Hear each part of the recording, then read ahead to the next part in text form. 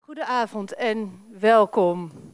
Die muziek hebben we normaal niet hoor. Dat is vanwege het onderwerp om alvast even in, uh, in de stemming te komen. Ik weet niet of u naar de teksten heeft geluisterd, maar het gaat allemaal over hoe crazy love is en zo. Hè? Fijn dat u hier bent bij de vierde aflevering alweer van Science Unlimited. U weet het, het is de wetenschapsserie van Writers Unlimited. En we hebben altijd wetenschappers en schrijvers of een schrijver. En dan hopen we dat dat mooi, die werelden mooi botsen of nieuwe inzichten opleveren. En vanavond gaat het over de liefde, waar we allemaal verstand van hebben, of misschien allemaal eh, veel te weinig verstand van hebben. Is eh, de romantische liefde wel goed voor ons? Waar zit liefde in uh, onze hersenen? En is verliefd worden een keus of uh, overkomt het je? Nou, dat zijn een paar vragen waar het vanavond over zal gaan. Is ook ruimte natuurlijk voor uw vragen. En we hebben straks een uh, niet ongevaarlijk experiment, waar ik een vrijwilliger voor nodig heb. Een man, een hetero man. En het is niet, oh, ik bedoel, we gaan u niks aandoen, maar het kan emotioneel verwarrend zijn. Hopen we tenminste dat dat zo is. Dus als u denkt, daar heb ik nou zin in vanavond, hè, dan kunt u straks, en u bent een hetero man, dat is dan even een voorwaarde. Steek dan straks uw hand op. Mijn naam is Katinka Beer, ik ben uh, journalist en uh, de gespreksleider vanavond. En ik heb drie gasten, welkom, alle drie. Jan Drost is cultuurfilosoof en uh, publicist. Je studeerde al af op liefdesidealen, klopt dat? Mm -hmm. ja. ja. En je schreef uh, het, het, romantisch misverstand over filosofie en over, nou ja, al die, want het is een hele reeks misverstanden die wij hebben. Zijn mensen, uh, de meeste mensen die misschien niet de hele dag filosofische boeken over de liefde lezen, snappen die er helemaal niks van? Van de liefde bedoel ik? Van de liefde? Uh, nou, nee, dat, zou ik niet willen zeggen. Maar ik denk iedereen die er probeert over na na te, denken, is denk ik ook geïnteresseerd in boeken erover of met mensen te spreken die er ook iets over nadenken. Um, maar en, volgens mij heb je meer kans op fouten als je totaal niet nadenkt. Op welk gebied eigenlijk geldt dat, denk ik trouwens. Nadenken is sowieso iets. Dat nou, meestal mensen, mensen denken na als in erna, erachteraf. Maar dus het is eigenlijk een beetje voordenken over de liefde. Misschien moet ik het meer zeggen. Maar ook echt over de liefde, want sommige mensen zeggen misschien: nee, maar dat is een gevoel en uh. Ja, ja dat, is een, dat is een van de romantische misverstanden: dat, uh, dat de liefde alleen maar een gevoel ja. is. En dat vind ik een heel treurig idee als dat alleen maar zo zou zijn. Want dan, kijk, de romantiek houdt graag van het dualisme denken-voelen. Dan krijg je zo van, aan de ene kant zegt mijn hoofd dit, aan de andere kant zegt mijn hart dat.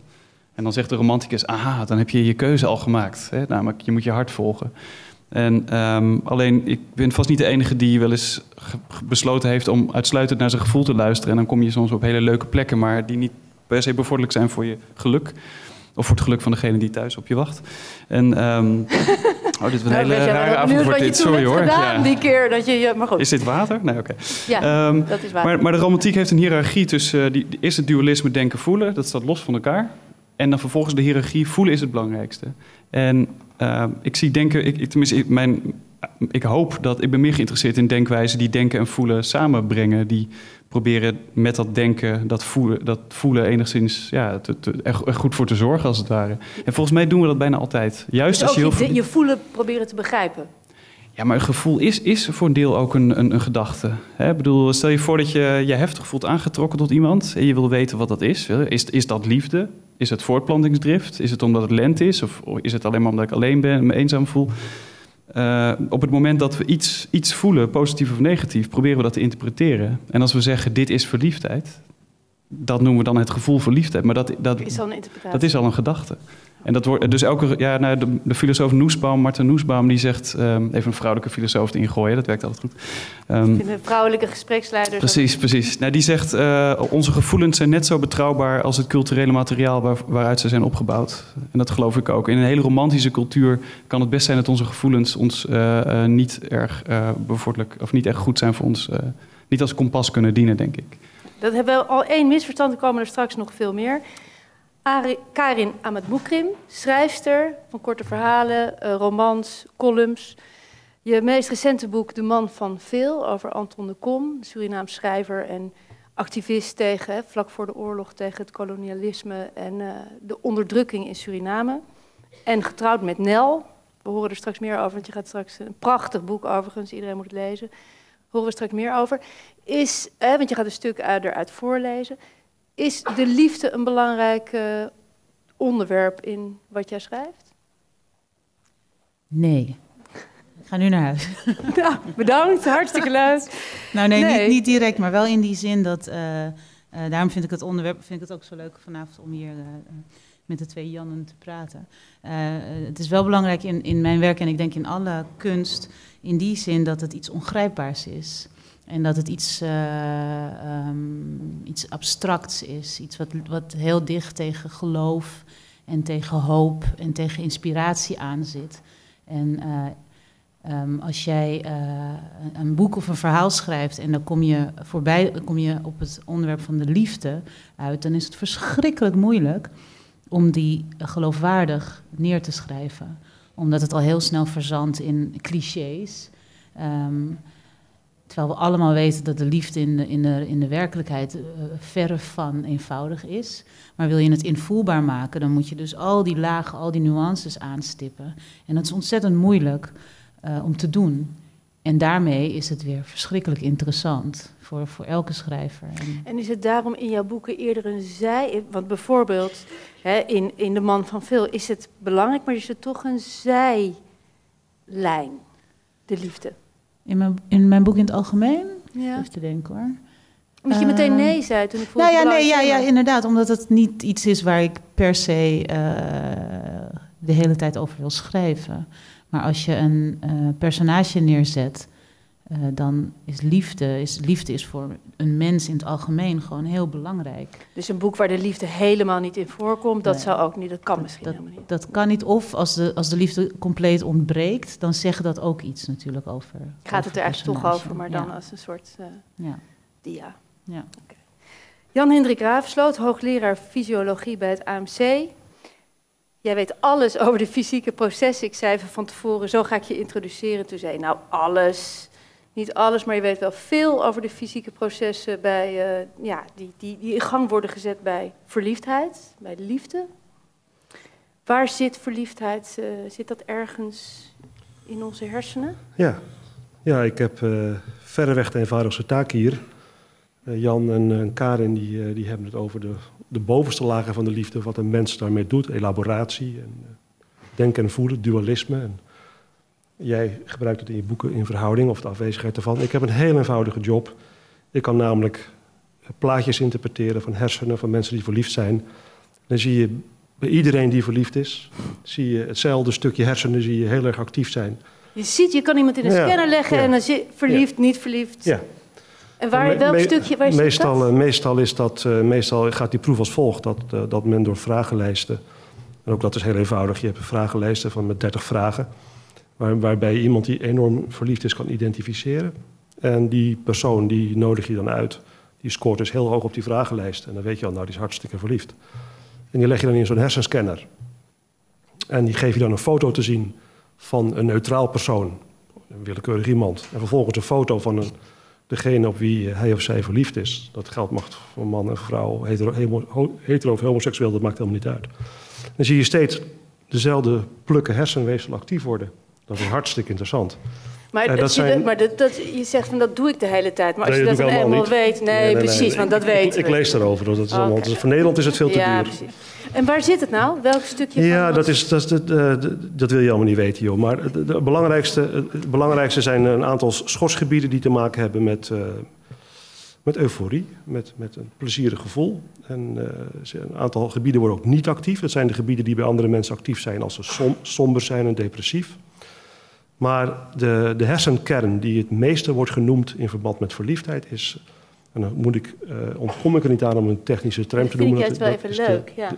De, nucleus accumbens. De nucleus accumbens. Een nucleus betekent kern. En een kern is een op, ophoping van zenuwcellen. En die heeft een anatomische plaats gekregen ergens aan de, aan de voorkant van je hersenen.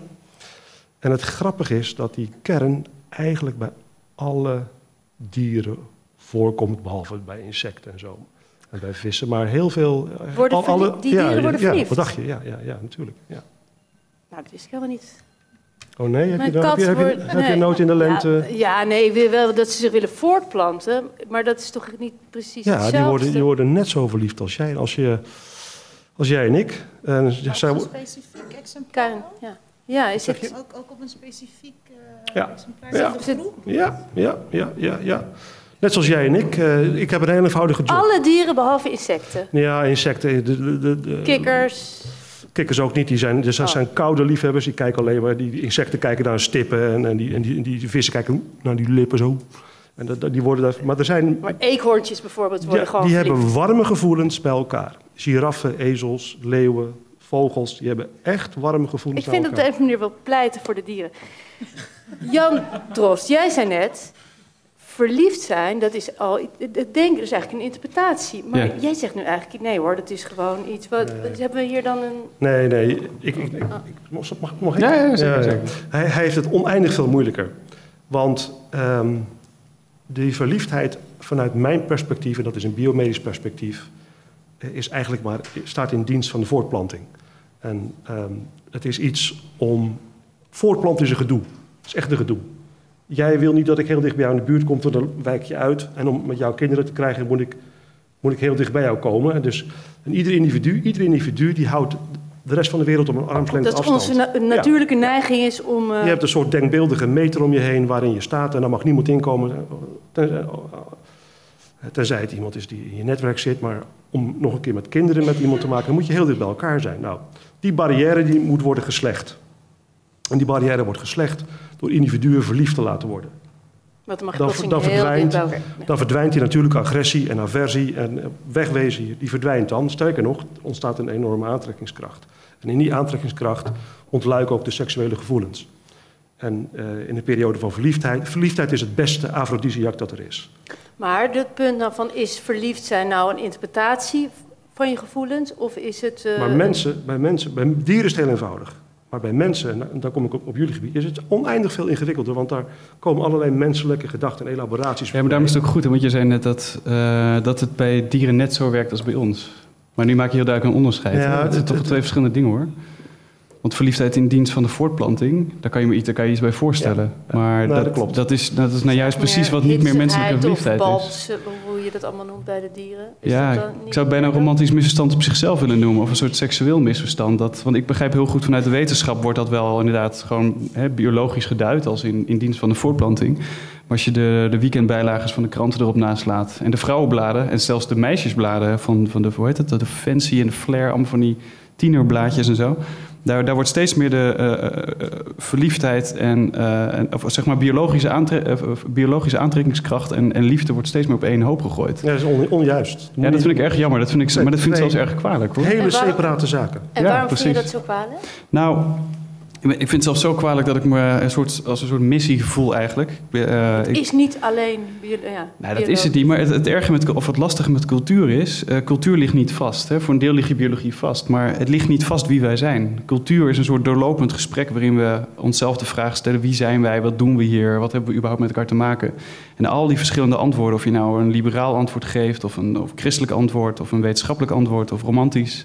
Dat zijn allemaal culturele stromingen waarin we elkaar proberen te vertellen wie we zijn. En als het verhaal, op de, eh, het antwoord op de vraag wat is liefde en waarom voelen we ons tot elkaar aangetrokken, steeds biologischer, een soort reductionistisch biologisch antwoord wordt, dan verschaalt dat ook de persoonlijke ervaring van mensen. En dat merk ik zelfs bij studenten die dan zeggen. Een zo'n jongen, oh, ik ben zo verliefd, misschien is zij wel de vrouw met die ik... En dan hoor je die jongen naast hem van, ah nee, dat denk je maar, dat zijn allemaal stofjes. dat is dan, dan kan je denken, ja, die heeft het niet begrepen. Maar uh, zo, wordt het, zo worden die verhalen wel gebruikt. het gaat in je persoonlijke beleving zitten. Dat heb juist dan goed begrepen. Het zijn ook inderdaad alleen maar stofjes die je blind maken. Maar ik ben het volkomen met je eens. Ja, dat ben ik echt. De, de stomste periode om grote besluiten te nemen is als je verliefd bent. De verliefdheid maakt echt... Liefde maakt niet blind. Dat is de grote misvatting. Het is de verliefdheid die blind maakt. Want, want, want, maar, wat, wordt het dan... Ja, ja. Uh, um, nee, doe maar. Die verliefdheid inderdaad moet je echt absoluut loszetten van romantische liefde wat daarna mhm. komt. maar die verliefdheid is in hoge mate biologisch bepaald. Zal jou verbazen, maar de romantische liefde ook. En in die zin, uh, in die zin is, uh, wil ik nog één keer een nuance maken.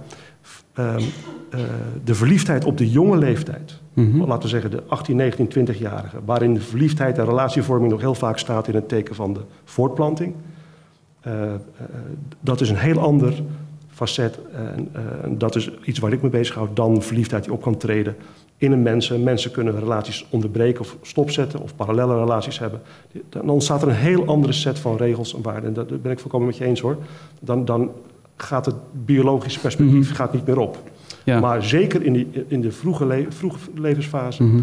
eh, durf ik een lans te breken voor het feit dat verliefdheid echt biologisch bepaald is. Maar, mag ik dan, wat ik, wat ik me dan afvraag is... Mag ik zijn, zijn, Doe maar. Nou, Maar um, zijn er ook uh, onderzoeken gedaan naar, um, dan hopelijk niet misschien niet bij mensen, maar als je weet waar in de hersenen uh, de activiteit plaatsvindt, als je die delen van de hersenen dan prikkelen, raakt iemand dan verliefd. Ja. Andersom. Ja, dus het uh, stofje wat in die nucleus accumbens omhoog gaat is dopamine. En je kunt twee proefdieren naast elkaar zetten. Uh, en die proefdieren, die, het proefdier wat ik voor ogen heb, dat is een prairiemuis. Die hebben gemeenschap met elkaar en dan worden ze verliefd. Dat is een tikkeltje andere volgorde dan die wij gewend zijn, maar nou. Um, nou, kan gebeuren. Kan gebeuren, kan zomaar gebeuren. Um, en wat bij de verliefde diertjes gebeurt, is dat dopamine in, de, in die hersenkern omhoog gaat. Okay. Um, en wat ze dan doen, is die twee diertjes in een kooi zetten. En dan spuiten ze bij dat ene diertje dopamine in, zonder dat er geslachtsgemeenschap heeft plaatsgevonden. En dan wordt het diertje even verliefd. En het tweede is dat je die, die dopamine blokkeert. Met een ander, een ander stofje in die hersenen in te spuiten. Dan komt de dopamine bij die geslachtsgemeenschap wel vrij, maar dan, dan heeft het geen effect. Dan worden ze niet verliefd. Dus die proefjes zijn inderdaad uitgevoerd. En die kern, om het nog ingewikkelder te maken, die kern, de dopamine, uh, speelt een veel bredere rol in het mensenleven. Want het, uh, als je verliefd bent, dan krijg je een enorm sterk eufor gevoel. En dan voel je je te gek. Je hebt enorm veel zelfvertrouwen, je hebt evenveel energie. Je zit er bovenop, je bent voor niets en niemand meer bang. En je hebt, nou ja, uh, iedereen kent wel de symptomen van verliefdheid. Um, die, diezelfde, datzelfde plezierige gevoel, dat wordt ook, uh, dat, dat, die nucleus accumbens speelt ook een rol in, het, in ieder gedrag dat een goed gevoel bij ons opwekt. Het is dus deel van een groter geheel.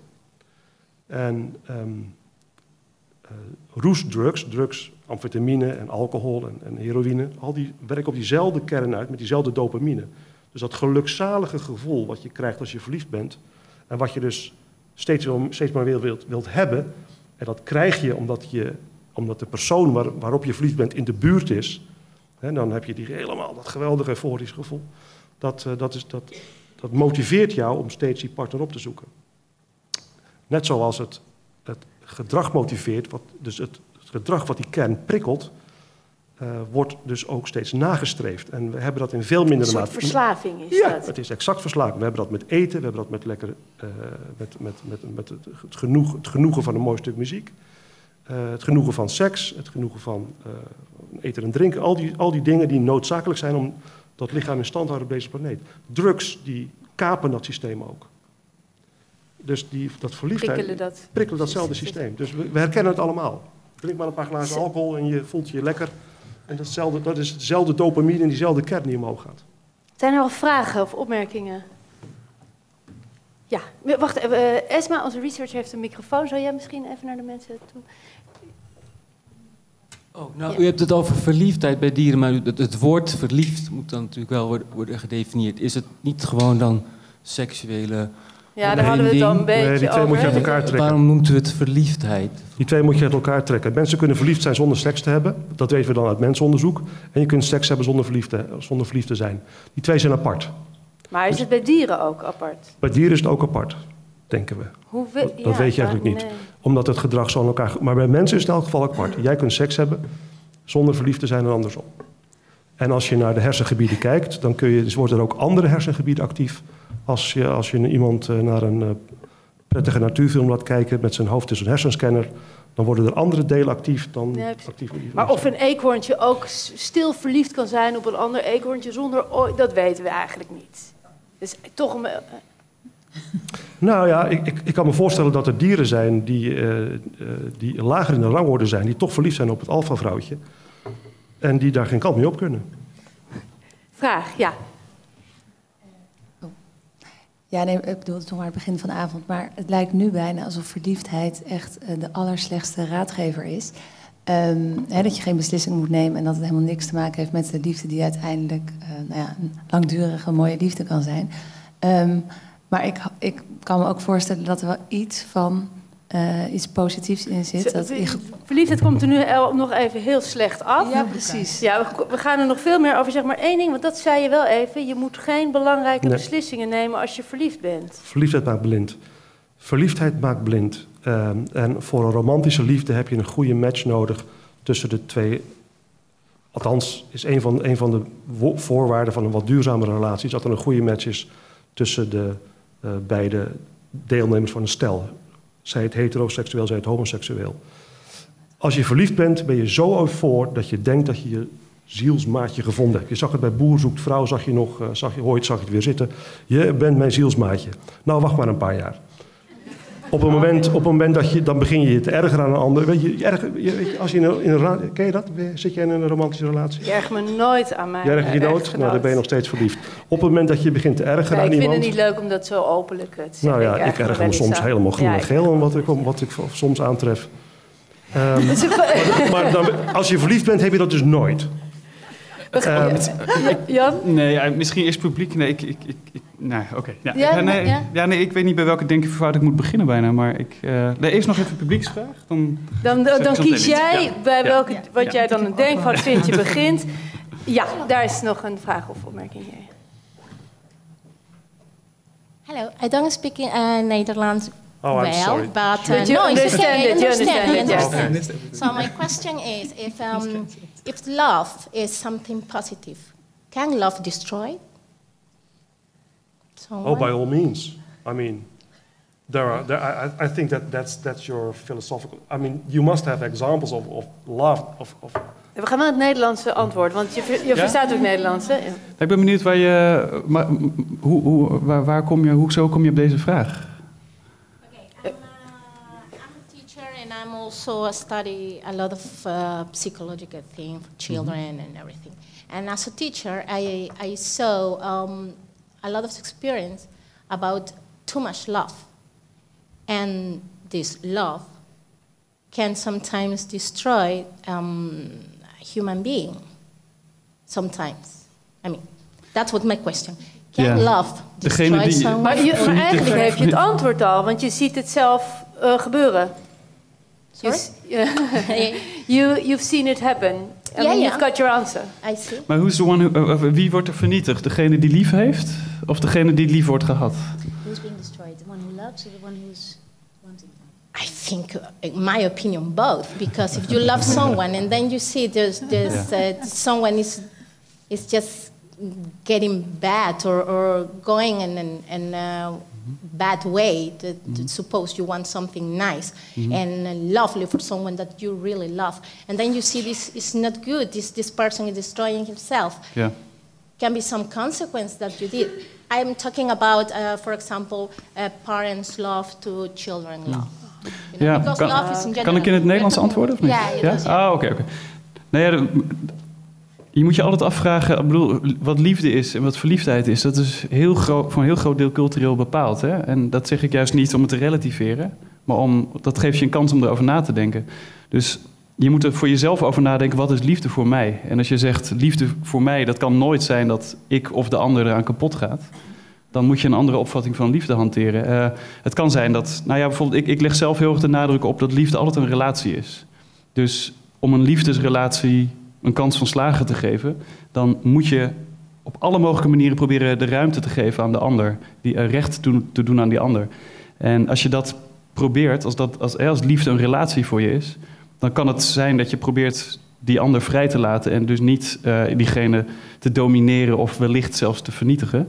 Maar als jouw liefde heel, heel, heel egocentrisch van aard is en heel veel romantische liefde is heel egocentrisch en heel bezitterig, omdat je per se wil dat iemand in jouw plaatje past, dan kan die zelfs gewelddadig worden.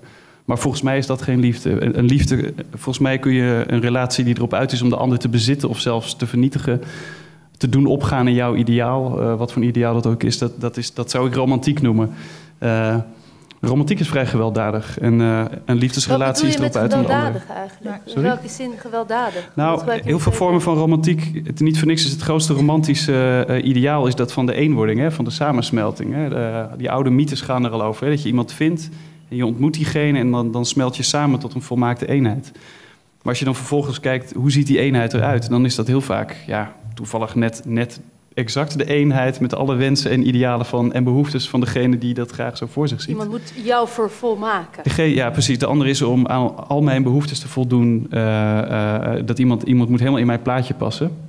En ik, ik, ik gebruik expres het woord geweld, omdat, uh, nou ja, er is een 20e eeuwse filosoof, Levinas, ik weet niet of iemand de naam kent, maar Levinas die heeft ooit de moeite moeten nemen in de 20e eeuw om op te schrijven. een voorwaarde voor een liefdesrelatie is dat je met z'n tweeën bent. En dat de ander daarin een ander is. Dan kun je denken, oh ja, dat, dat, had, ik, had, had, ik ook kunnen bedenken. Maar dat bedenken we dus helemaal niet. Dat denken we, bedenken we theoretisch, maar, maar we leven vaak heel erg vanuit die eenheid, vanuit dat egocentrisme om iemand te incorporeren. En hij zegt, uh, iemand doden is niet alleen geweld, maar iemand negeren is geweld. Iemand uh, uh, jouw eigen kennis van de ander verwarren met hoe de ander is, los van jouw kennis. Dat, zelfs dat noemt hij geweld. En daarom gebruik ik het woord geweld. Heel veel romantiek is erop uit om de ander helemaal in jouw plaatje te doen passen. Um, en dat kan destructief zijn, dat, dat, kan, dat kan vernietigend zijn. ik denk eigenlijk dat, uh, dat die dame, um, want ik hoor dat ze een, een, een, lerares is, dat ze bedoelt misschien de liefde van een ouder voor een kind, wat de meest pure vorm van liefde is, zou je kunnen zeggen. En daar is, zou je ook kunnen denken dat dat, dat, dat puur en echt en uh, perfect is. Mm -hmm. Maar liefde is natuurlijk ook een menselijke gewoonte. En mensen zijn, in mijn opinie, per definitie imperfect. En ik zie het, ik, je ziet het heel, altijd, je ziet het zo vaak, een, uh, een, een, verstikkende liefde van een moeder voor dat kind, waar dat kind dan allerlei trauma's, je ziet dat gewoon gebeuren. Dus dat, over 30 jaar gaat dat helemaal mis. Maar dat betekent niet dat die moeder Um, Zo, die moeder zou toch een romantische moeder kunnen zijn? Nee, maar ik denk dat, dat liefde... Ze, dat ze, dat ze gedacht heeft dat, die, dat hun kind misschien wel de vervulling van al haar dromen zou zijn? Of, of dat die kind ja, precies, uiteindelijk het leven moet leiden dat ja, zij graag Ja, ik denk dat we, een beetje hetzelfde, dat we een beetje hetzelfde zeggen. En het, wat, wat ik eigenlijk wil zeggen is dat, het, dat liefde iets is van, van ons mensen. En ook van dieren, begrijp ik. Maar dat, daar hebben we het straks al weer over. En wij maken aan de lopende band fouten. Want wij zijn heel egocentrisch. En daar gaat het al mis. Dus je kan eigenlijk misschien niet eens hele grote, grote conclusies trekken erover, over de liefde die voor iedereen opgaat. Maar is egocentrisme niet een, bewijs van onvoldoende eigenliefde? Van onvoldoende, het is niet eigenliefde. Eigenliefde. Onvoldoende eigenliefde. Uh, dat, dat, is, dat is een mogelijk antwoord daarop, ja. Dat, dat is een van de mogelijke antwoorden. Ja, maar zelfs dat, hè, je, moet, je, moet, ja, je moet altijd je afvragen waarom ben ik zelf egocentrisch of waarom is een ander het. Dat kan een gebrek aan eigenliefde zijn. Ik vind het niet zo handig eigenlijk om gewoon. Uh, oh. Laat het wel even via de microfoon oh, en laat even weten als je iets wil zeggen. Want anders dan uh, heb ik geen idee meer wie uh, het woord krijgt. Ja, jawel. Oh, Oké. Okay. Nee, ik bedoel op het moment dat je je focus qua behoeftes legt, extern legt en uh, niet kijkt naar van uh, wat mankeert er bij mij van binnen, is dat voor mij inherent aan een gebrek aan eigenliefde. En zouden mensen, dat is natuurlijk ook cultureel bepaald, hè, dat we altijd gedacht hebben van ja, je moet goed zijn voor anderen en je bent zelf niet zo belangrijk, bla bla bla. Hele Calvinistische gedachtegang. Maar du moment dat je gaat kijken naar jezelf en wat heb ik nou echt nodig en daar aan voor jezelf gaat voldoen, heb je dus ook minder behoefte om dat bij anderen weg te trekken. En derhalve wordt liefde of verliefdheid misschien minder eisend of, of, of, of hebberig of zo. Wellicht, ja. Wellicht. Ja, je hebt ook een relatie met jezelf, dus uh, die moet je ook goed onderhouden. Laten ja. we in vredesnaam een onderscheid blijven maken tussen verliefdheid en romantische liefde. Verliefdheid is niet cultuurgebonden. Uh, niet wat ja, nee, ja ik, ik begrijp dat je graag van die tegenstelling maakt, maar de, de, zelfs verliefdheid is voor een groot deel cultureel uh, bepaald. Het is onderzocht, het komt in alle culturen voor. In alle culturen ja, maar, heb je dezelfde symptomen. Maar wel, er zijn wel, ik kan me wel voorstellen dat, er, dat de stappen die leiden tot verliefdheid, dat die wel cultureel Natuurlijk, bepaald zijn. Maar de symptomen Want, en het ja, de symptomen, is, die, is biologie. Dat precies, is maar die biologie, wat er gebeurt, wat u net heeft uitgelegd, dat gebeurt niet bij elke man wanneer die tegenover elke vrouw staat. Natuurlijk niet. Dus, maar, en dus die stappen voordat men verliefd wordt, die moeten we natuurlijk ook niet overslaan. Dat koop ik, maar het, net zoals het hart in Azië net zo tikt als in West-Europa, is verliefdheid in Azië het zakt hetzelfde als in West-Europa. Jan, ben je, ja? Ben je daarmee eens of niet? Van dat die, mm, dat... Nee, nou, ik, ik, begrijp, dat, ik begrijp dat, dat, dat de hersenen voor een groot deel hetzelfde functioneren. Maar ik ben veel meer geïnteresseerd in uh, de persoonlijke ervaring van, uh, van, van relatie en, en, van, de, van de liefde ook. Dus um, ik, ik, het is bijna onmogelijk om twee mensen die allebei uh, nou ja, verliefd zijn op iemand om, om te zeggen, jullie hebben exact dezelfde ervaring. Dat, dat, zelfs dat vind ik bijna al gewelddadig om te zeggen. Je kunt wel zeggen, je, hetzelfde gebeurt in de hersenen, ja. maar dat is... Ja, kijk, heel veel... Ik, ik, nogmaals, ik zeg niet dat jij dat doet hoor, maar heel veel, hersen, uh, uh, heel veel hersenonderzoeken die, uh, tenminste in de interpretatie ervan, maken ze de denkfout tussen, dat er een correlaat is tussen hersenactiviteit en een persoonlijke ervaring. Dan gaan ze een kausaal verband leggen. Dan zeggen ze dopamine veroorzaakt het gevoel van verliefdheid. Nou ja, dat, zo werkt dat niet.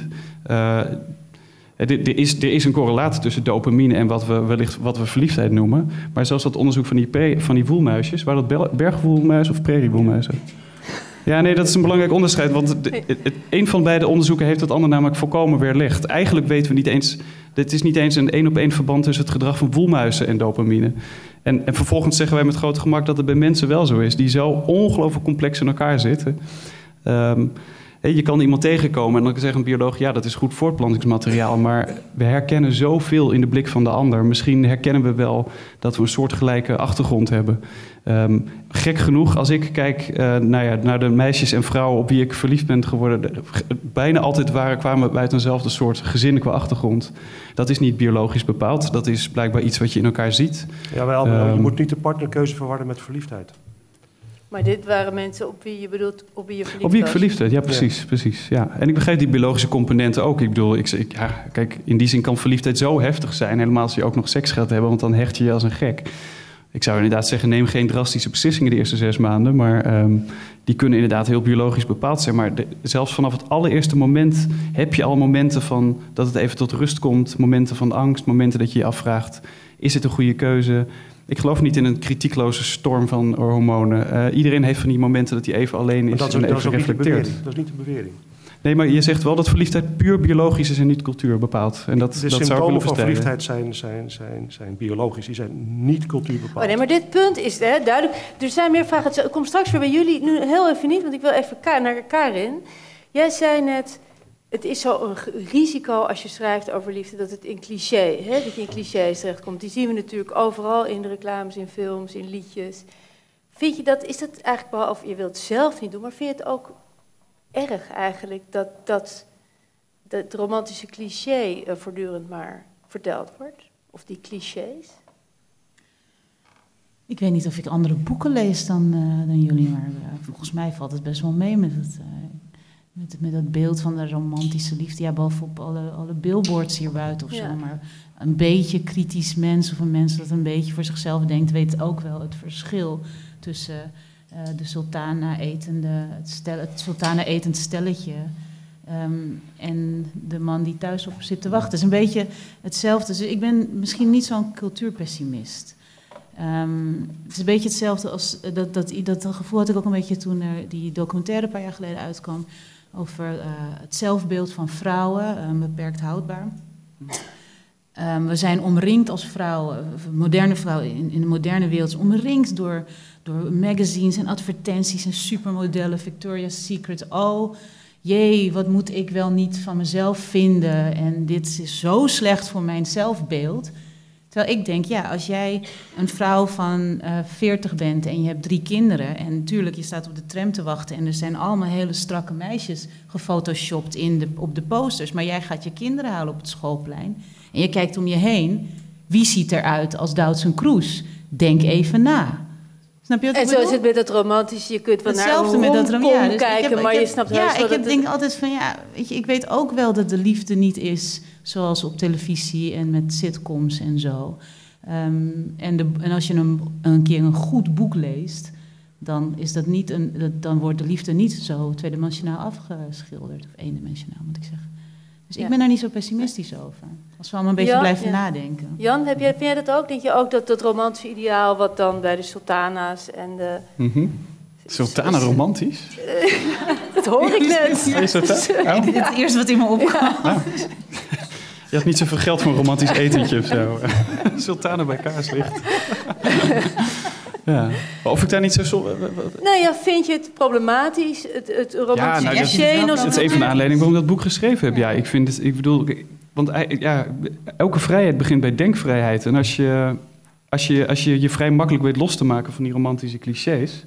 dan komt het waarschijnlijk omdat je andere voorbeelden ook in je leven gezien hebt. Uh, misschien heb je een hele stabiele relatie van je ouders gezien. Dat is ook, dat is ook een voorbeeld. Um, maar misschien ben je wel opgegroeid in een slagveld van, van liefdesellende en, en snak je naar eh, enige positieve voorbeelden. En als je dan tot de populaire cultuur wendt, dan kom je vrij bedrogen uit. Dan, dan uh, ja, heel veel romantische films hebben het vaste recept van... Uh, je ziet in het begin van de film dat twee mensen elkaar echt moeten hebben. Dan komen er wat obstakels, wat misverstanden. Aan het eind van de film komen ze elkaar tegen, kleffe zoen, potje seks... en dan is de film afgelopen. Met de twee deprimerendste woorden uit de geschiedenis happy end... Echt ongelooflijk.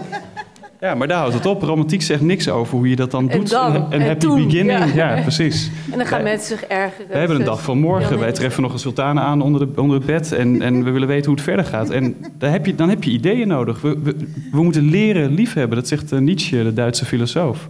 We moeten leren liefhebben. Wij denken vaak dat we dat kunnen, vanzelf. En hoe we moeten Alles leren. Moeten we dat op school of moeten we meer boeken lezen? Of moeten ouders hun kinderen waarschuwen? Alles wat we leren, wat de moeite waard is en wat we menselijk noemen, dat, dat, is, dat is wat cultuur heet. Dat is uh, opvoeding, uh, dat is goede voorbeelden leven, dat is boeken lezen inderdaad. dat is ook onderwijs. Um, op alle mogelijke manieren kun je bedenken hoe, hoe we kunnen zorgen dat we, dat we elkaar en onszelf voeden met ideeën waardoor we ja, de, de liefde kunnen leren en liefhebben Wat kunnen vind jij, Jan? Ik kan me wel voorstellen dat jij nou dat ook... Ik zei dat, ik heb een makkelijke taak, want ik, heb, ik kan mensen gewoon onder een scanner leggen en kijken wat er in die ja, kopjes gebeurt. maar wat vind je hiervan? Ja, dat, het klinkt, het klinkt uh, buitengewoon plausibel. Um, uh, maar dat, kijk, in, in, mijn reductionistische wereld is, is de romantische liefde dat, dat wat na de verliefdheid komt. Verliefdheid maakt blind en op, op een bepaald moment houdt dat op. Uh, na een paar weken of na een paar maanden, na een paar jaar. Maar dan komen mensen, dan vallen de, valt er, die doen dan letterlijk een roze bril af. En dan, en dan volgt er gewoon een hele zakelijke afweging. Of je doorgaat met die partner waarmee je die ongelooflijke leuke tijd hebt gehad. Want laat ik vooropstellen, verliefdheid is het prachtigste wat je lichaam zonder drugs aan je kan geven. Dus echt de mooiste periode van je leven. Ik zou tegen mijn kinderen zeggen, geniet er volop van. Neem in vredesnaam geen besluiten, maar geniet er tot in de diepste, diepste, diepste Kinderen luisteren nooit van je, naar dat soort adviezen. Nee, maar goed. Mag, mag ik even wat vragen? als je dat zegt, even verhaal afmaken. Okay. Uh, uh, geniet ervan, maar die bril valt af. En dan kun je besluiten om door te gaan. Dat is dikwijls een zakelijke afweging, zeker voor jonge mensen. En daar, daar, valt, daar, daar vallen ouderschapskwaliteiten bij uh, hoe, match, hoe match je onze persoonlijkheden? En op dat moment wordt de passie, de, seksualiteit, die wordt gecompleteerd in een romantische relatie, wat men romantiek noemt, door twee andere factoren. Die heb je vast wel, uh, dat kun je vast wel bedenken. Dat is, dat, is, dat is intimiteit. En met intimiteit bedoel ik niet dat je met elkaar naar bed gaat, maar dat doe je al in de passie. Maar met intimiteit is dat je elkaars uh, diepste wensen en gedachten en, en, en motivaties en angsten en fantasieën leert kennen, maar ook je leert de levensdoelen van je partner kennen. Uh, dus die, die, je komt zo dicht bij elkaar dat je elkaar tot op dat niveau echt leert kennen. Of, of dus intimiteit en de tweede? Want je ja, en dan komt de derde, dat je de commitment hebt om die kennis te gebruiken om elkaars levensdoelen te helpen realiseren. En dat is, dat is, in, dat is de eenvoudigste, eenvoudigste samenvatting van de ingrediënten van een langdurige romantische relatie. Die overigens ook weer biologisch wordt ondersteund door moleculen in je hoofd. Oh, er zijn er maar heel even. Want eh, wat was jouw vraag? Nou, ik was uh, uh, die, die, verliefdheid, hè? Dat, deel wat jij dan verliefdheid noemt, los, los van die liefde die daarna komt. Um, in hoeverre komt daar de andere persoon eigenlijk aan te passen? Want je zei het is het grootste geschenk dat je lichaam je kan geven. Ja. Is het een soort one-man show? Ja, of one-woman show? Met iemand die daar toevallig een beetje omheen dwarrelt? Uh, ik, denk dat iedereen, die, ik denk dat iedereen zijn eerste liefde en, en, en het geweldige gevoel uh, het geweldige, de geweldige ervaringen die je hebt in een verliefde situatie, die zo overweldigend zijn dat je het alleen maar wilt nastreven. Ik denk dat iedereen die verliefd is geweest, uh, dat wel, op, wel in zijn top drie van, van levenservaringen zou zetten. Ja, maar in hoeverre, ja. in hoeverre komt de ander daaraan te pas? Dus degene op wie je verliefd bent? Want die hoor ik niet zo terug in de fMRI-scans en in de, in de interpretatie. Jawel, die is nodig, die is nodig om het gevoel op te wekken. Dus, dus, dus, gaat zo, het gaat zo met elkaar dat ik, dat, ik, dat ik zelfs moeite heb om je vraag te beantwoorden. Dat kan niet zonder de andere. Ja, ik had, ik had hem de hemelvaar nog niet gehoord, daarom vraag ik even. Want je zei het is het grootste geschenk dat je lichaam je kan geven. Dat lijkt toch iets wat voornamelijk in mijn fabriekje gaande dat is. Klopt, dat klopt. En, dat, en de andere is dan alleen maar een soort startkabeltje, een lijkt het. Die... Ja, zo zou je het kunnen noemen, dat klopt. En, dat ja. waarom, de ene uh... waarom werkt de ene wel als startkabel en de ander niet? Ja, ik... ja die vraag stelde En dat is dat, cultureel van. Nou ja, dat, dan, waarschijnlijk wordt het antwoord dan... met die persoon kan je goede kindjes maken, maar... Ja, nou inderdaad, precies. Dus eh, om te beginnen, het, het, hoe je verliefd wordt, daar, daar zijn de boeken over volgeschreven. Uh, wat je daarvoor nodig hebt, is, is, dat die ander bij jou je bloed sneller doet stromen. Je moet, je moet een arousal krijgen, zoals dat heet.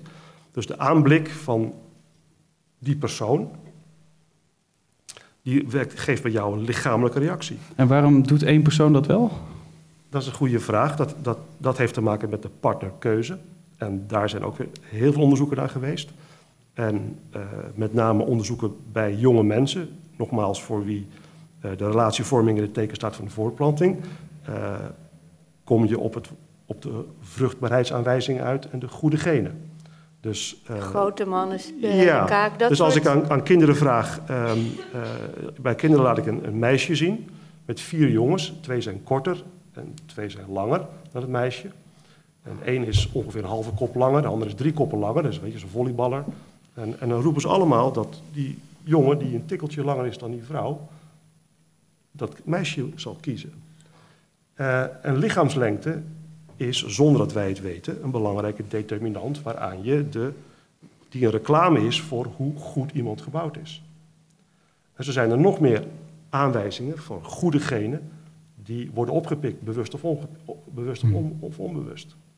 Ja. Die, die selectie, nogmaals, geldt voor 18, 19, 20-jarigen, voor wie relatievorming belangrijk is, omdat er voortplant, wordt voortgeplant. Zonder Maar- dat, ze, dat ze realiseren overigens dat Ja, dat zo meespeelt. Ja, symmetrie is ook zo'n belangrijke, belangrijke uh, symmetrisch gezicht. Mhm.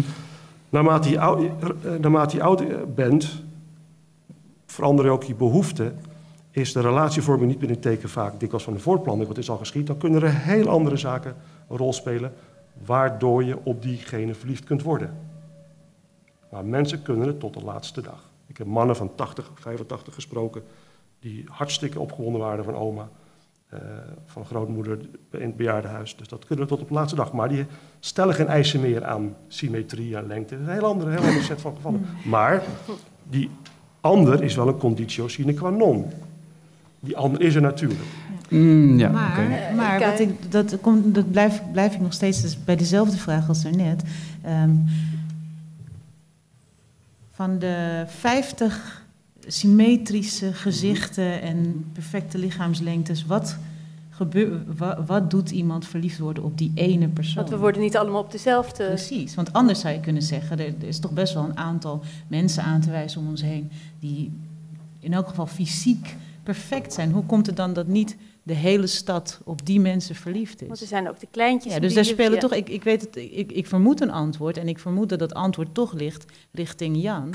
Dat, we, eh, dat er een set is van culturele ehm, eigenschappen of, of eh, eh, tradities waar we in gevormd zijn, die zorgen dat we ehm, wel naar het ene symmetrische, het ene symmetrische gezicht, waardoor dat wel, dan gaat het werken en bij het ander niet. Ja, er is, natuurlijk, er is natuurlijk een verschil tussen wat mensen op, eh, op wetenschappelijke enquêtes aangeven als de ideale, de ideale partner. En de kenmerken, de lichamelijke kenmerken van de ideale partner. En wat ze in de praktijk als partner kiezen. Daar zit natuurlijk een discrepantie tussen. Ja. want niet iedereen is ideaal. Nee. Dus wat een individu be- eh, beweegt om zich open te stellen voor, nou ja, kijk maar naar boer zoekt vrouw. Daar, daar zie je het gewoon voor je ogen gebeuren. Ik wil Maar je bedoelt, eigenlijk willen we liever die grote man met die kaak en die... Maar ja, nee, nee, die, die hebben we. Nee, dus... Gemiddelde gezichten, geen, geen, geen, Oh, oké, geen niet te- sportschooltypes. Nee, maar goed, je hebt dat ideaal, maar die kunnen we niet allemaal vinden of krijgen. Dus doen we maar met... Ja? Ja. ja. Karen, ik wil heel graag even... Ja, jij, wel, oh, jij mag een vraag stellen. Een, kleine vraag en een opmerking. Een vraag over um, dopamine. Ik heb ergens gelezen dat dopamine uh, iets te maken heeft met psychose. Is verliefdheid een lichte psychose? Dat is een eerste vraag. En uh, een opmerking. Um, heel lang geleden uh, heb ik in een discussie met vrienden, Nederlandse vrienden, begrepen dat romantische liefde alleen maar iets Europees is. En nou, heel vroeg uh, vond ik dat, uh, was ik wantrouwend tegenover deze gedachte. Ehm, nou, omdat ik bekend ben met andere literatuur, met literatuur uit andere landen, weet ik dat ehm, ook, ehm, ook zelfs in de pre-islamitische literatuur ook uh, romantische liefde aanwezig is. Dus ik ben wantrouwend uh, tegen de, tegenover de gedachte dat verliefdheid en ook romantische liefde iets cultureels is. Dat heeft iets te maken met van ja, wij Europezen, die, wij kennen wel de romantische liefde en de andere culturen. Nee, nee, nee, nee. dat is niet gezegd. Nee. nee, nee, nee. Het gaat meer van waarom val je op die specifiek die ene persoon. Ja, je voorkeur is cultureel bepaald. Ik zit niet, het is niet gezegd dat Nee, het komt heel vaak voor dat ik heb. Het is niet u heeft gelijk hoor, ik, ik snap wat u bedoelt. Het is geen psychose, het is wel obsessief-compulsief. Het is, het, is een, het is een vrolijke vorm van obsessief-compulsief gedrag. Het is een dwang, en, dwangstoornis, zeg maar. Obsessief-compulsief. Ja. Um, en inderdaad, in het Westen denken wij dat de perfecte relatie begint met een periode van verliefdheid. En dat hoeft helemaal niet. Je kunt ook een, een hele uh, bevredigende romantische relatie hebben zonder dat die begint met verliefdheid. Maar dat is niet wat jullie net bedoelden met cultureel. Dat was nee, niet, ik bedoelde uh, alleen in Europa. Ja, als, je cultureel, als je cultureel bepaald zegt, dan denken mensen vaak dat je, bedoelt, dat je dat heel relativerend bedoelt. Dat je, maar ik bedoel juist meer te laten zien dat, dat wat, een, wat, wat ons tot mensen maakt en waardoor we onszelf en elkaar proberen te begrijpen, dat dat niet alleen maar biologie is, maar dat daar, dat daar een hele opvoeding achter zit. Dus cultuur is ook je opvoeding. Dat, ook een persoonlijke geschiedenis. Dat is meer zeg maar ja, het deel wat ons gevormd heeft en waardoor we leren onszelf te interpreteren. Als je twee hardcore biologen als ouders hebt. En uh, nou ja, het is, de lente komt eraan. Morgen knalt hij los, geloof ik. Wordt 16 graden. Dus als je dan opeens heftige aantrekkingskracht voelt tot iemand aan de overkant van de straat, dan kun je misschien geleerd hebben om te denken: oh jee, het, wordt weer voort, het is weer voortplanten geblazen. Uh, maar misschien heb je hele, hele romantische ouders. En dan denk je, zo, dat is heftig. Die heftigheid zou eens een indicatie kunnen zijn dat ik de ware daar tegenkom. Het klinkt een beetje zwart-wit, maar de cultuur waarin we opgroeien... en onze opvoeding en onze persoonlijke ervaringen... Uh, en, en de pech en het geluk wat je daarin hebt... Uh, bepalen wel hoe je jezelf interpreteert. Ja, nee, nee, even... Tot, ja. Nou ja, dat, nee, onzin. Ik heb veel studenten die dat meteen tegen. Die kwamen met prachtige Persische poëzie aan. En uh, nee hoor, dat is uh, helemaal waar. Het is jammer Absoluut. dat het zo goed is dat we jullie ook verstaan zonder microfoon. Maar ja. ik wil even naar Karin. Want ik wil jou vragen of je een stukje wil lezen uit je boek. We moeten misschien even uitleggen waar we zijn dan in het verhaal. Hè? De man van veel. Het gaat over Anton de Kom, schrijver uh, is in Suriname het land uitgegooid, omdat het, uh, ja, de Nederlanders eigenlijk bang zijn voor een, uh, voor een soort opstand. In Nederland is hij op een gegeven moment helemaal berooid, gaat helemaal bergafwaarts met hem en wordt hij uiteindelijk opgenomen in een psychiatrische inrichting, omdat zijn vrouw dat heeft gevraagd. Zijn vrouw, de Nederlandse Nel. Dat is denk ik wat we moeten weten, want daar zit hij je hebt, uh, nou ja. ja, nee, sorry, ik was ja. even heb je het verdiept. Ja, uh, ja nee, klopt, ik, heb een stukje, ik heb een stukje uitgekozen om, uh, waarmee ik hoopte aan te tonen dat um, liefde en verliefdheid ten eerste twee, inderdaad twee verschillende dingen zijn, wat we net al hebben geconcludeerd. Maar dat liefde ook bestaat in de tegenstellingen en in. Um, in de, ja, in de aan... Ik kan het beter, ik kan beter schrijven dan praten. Ja. ik echt gewoon een beetje. Ja, is er iets aan te doen? Ik, ik probeer het wel even. Hij was de halve wereld over gereisd, op zoek naar iets wat hij niet kon omschrijven. Toen hij haar ontmoette, bleek ze niet te hebben wat hij zocht, maar juist iets te bezitten wat hij nooit had nagejaagd. Ze toonde hem een manier van zijn die hij zelf niet had kunnen bedenken en die op hem overkwam als onuitdrukkelijk en volmaakt. Het was alsof hij een diapositief van zichzelf ontmoette. Een blanke vrouw uit de Hollandse middenklasse, die nooit verder dan haar landsgrenzen was geweest. Een blanke vrouw die even beheerst was als hij hartstochtelijk. Iemand die zijn ambities de kern van zijn karakter, glimlachend als een grote onzinnigheid wegwuifde. Iemand zonder ambities die perfect gelukkig was. Terwijl hij leefde met een constant gevoel van angst om te laat te zijn, hoewel hij nooit precies kon achterhalen waarvoor, was haar grootste kracht dat ze berustte in de middelmaat van het leven. Hij stelde ambitie gelijk aan levenslust en trok in zijn eentje de wereld in, omdat hij dacht dat alles omarmen de enige ware manier van leven was. De tegenstelling was zo groot dat ze elkaar evengoed hadden kunnen afstoten, maar het werd het tegenovergestelde. Ze werden verliefd. Hij was verrukt toen hij ontdekte dat deze vrouw de wereld weliswaar gelaten bezag, maar dat nooit leidzaam deed. Even kijken. Als het aan haar lag, bleven ze buiten de wereld leven. Wat was er belangrijker dan dit, zei ze. En ze bedoelde de liefde. Maar hij was gewend om te kijken voor anderen, dus wees hij haar andere zaken aan: vrijheid, gelijkheid, onrecht. De liefde bleef, maar gaandeweg bleek zijn ambitie groter dan haar geduld. Dus verliet ze uiteindelijk haar vertrouwde middelpunt. En dat deed ze uit liefde voor hem. Ze trachtte nog mee te nemen wie ze was, haar rust en stilte, terwijl ze in de loop van de jaren de weg insloegen die hij voor zichzelf had gekozen. Uiteindelijk legde haar tevredenheid het echter af tegen zijn honger. Voor een van beiden had opgemerkt, waren ze opgeslokt geraakt door dat wat hij al die jaren had gezocht: strijd, verzet en onvermijdelijk de dood. Dankjewel. Weet je heel veel over, over Nel? Is het heel erg gebaseerd op uh, ja, feiten? Of ben je, heel, ben je gaan. Uh, ja. Nee, ik, ik wist niet zoveel over haar. Um, ik heb me een beetje mijn fantasie erop losgelaten. Ja. En, um, en een beetje uh, natuurlijk wel gekeken uit wat voor gezin en wat voor achtergrond ze kwam. En um, wat, wat een schrijver doet, eigenlijk, wat ik doe, is, is, observeren van mensen. En dus ook per definitie van menselijke relaties. Dus um, ik kon me wel iets erbij voorstellen. Een man in de jaren, eind jaren twintig, een zwarte, knappe, atletische, intelligente man. Heel veel zelfvertrouwen. Die is, overigens, het verhaal is dat hij dus in, gewoon sowieso wegging uit Suriname op reis, op zoek naar meer. Uh, met enorme ambities, schrijfdrang. Um, en dan ontmoet hij een meisje, een, een, een blank meisje. Totaal middenklasse, heel beschermd opgegroeid. Helemaal geen enkele grote droom. En toch verliefd. En het had echt kunnen blijven in, in, in een tijd waarin een zwarte man uh, in Nederland een, uh, een unicum was. En een schandaal en ook. Een schandaal. Dit, dit, deze, het had ook daarbij kunnen blijven bij uh, een, een, keertje samen. En ik kon me zo goed voorstellen dat...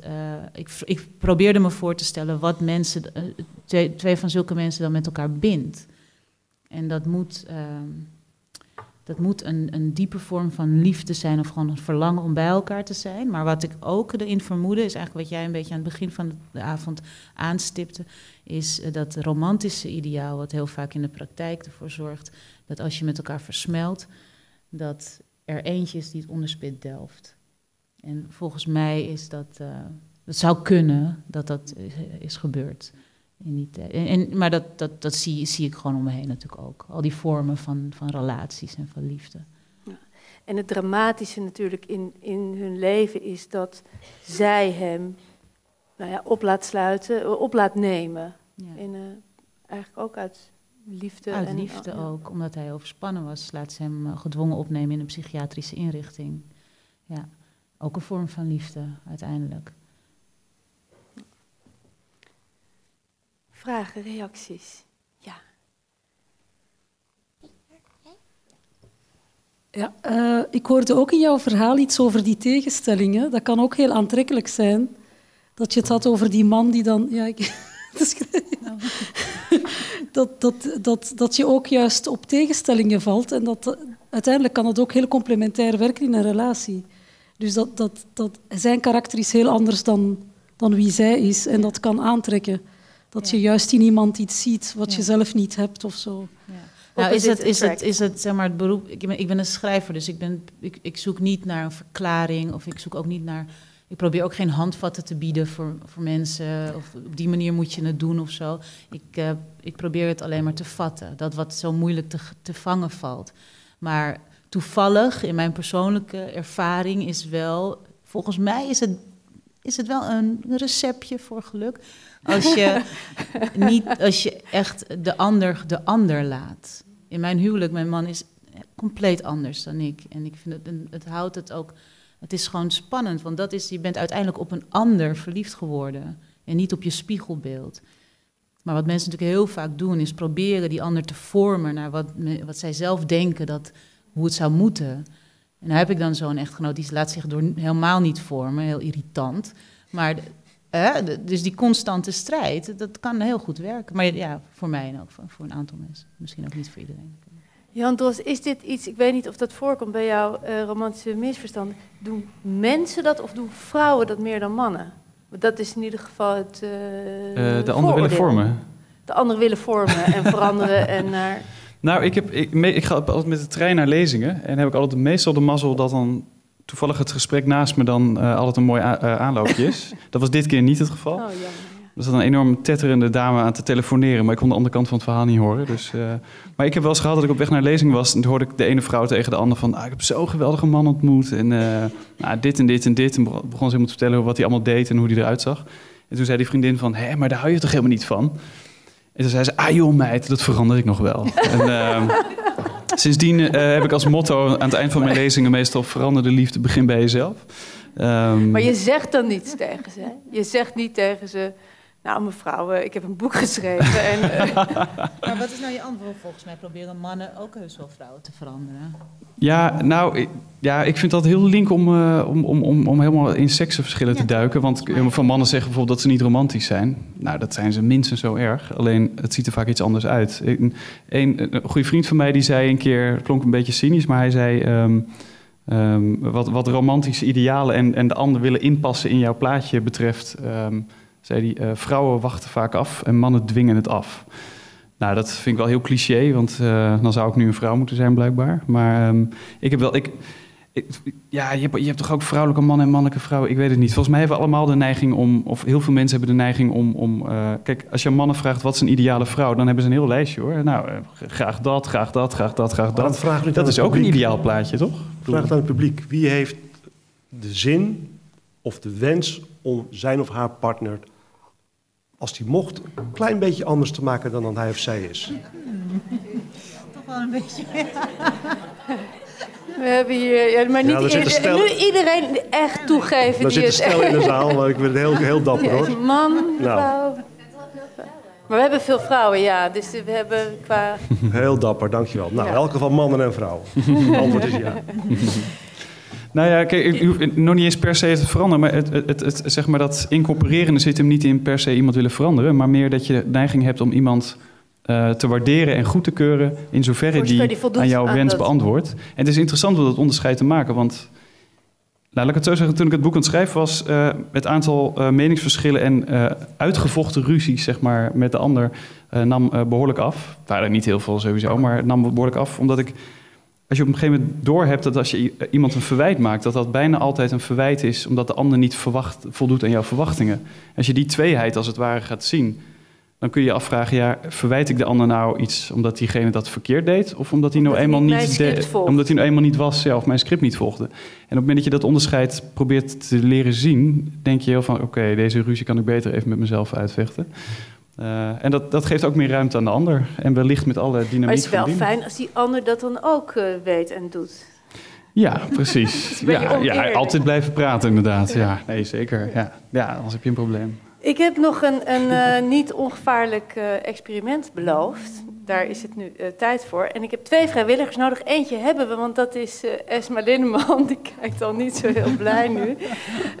onze researcher. En uh, wat wij nodig hebben is dus een uh, man, een hetero man, die uh, met Esma dit experiment, het duurt iets van tien minuten ongeveer.